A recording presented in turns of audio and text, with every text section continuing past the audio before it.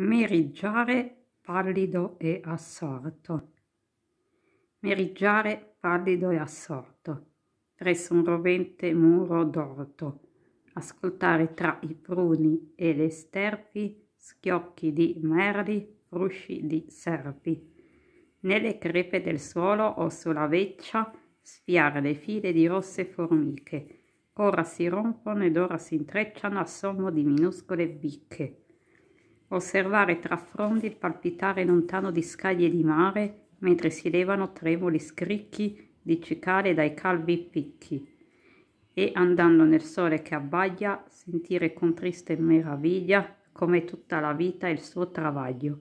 In questo seguitare una muraglia che ha in cima cocci aguzzi di bottiglia